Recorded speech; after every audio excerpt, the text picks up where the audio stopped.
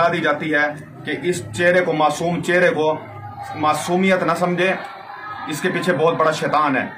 ये जो काम हुआ है, मैं अलल ऐलान इसकी बात कर रहा हूँ आपको।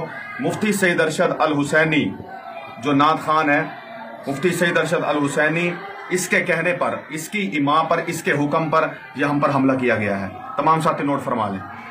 रहीम और बड़े भाई अब्दुल रबानी साहब को गाड़ी से बाहर निकाल कर उन पर कातलाना हमला किया, मारने की कोशिश की। अल्लाह रब्बुल इज़्ज़त ने अल्हम्दुलिल्लाह महफूज रखा।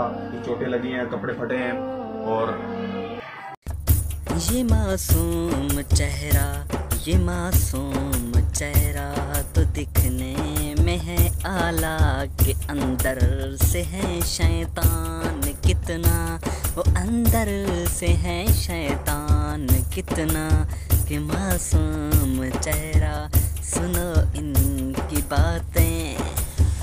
रास्ते में इसी वापसी पर जो ये सूरत हाल पेश आई है, धमकियाँ देकर गए हमें कुछ।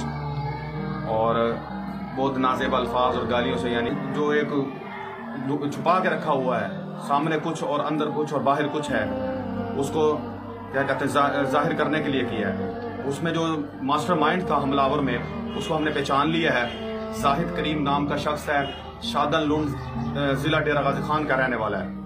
ये हम उसकी निशानदही कर रहे हैं। जाहिद करीम शादन लुंड ज़िला डेरा गाजी खान का रहने वाला है और इसकी तरफ़ से फरमा दें तो आपने सुनी, आपने देखी इनकी बातें कि इनके ऊपर किसने हमला करवाया। मुफ्ती सैद अरशद हुसैनी ने हमला करवाया।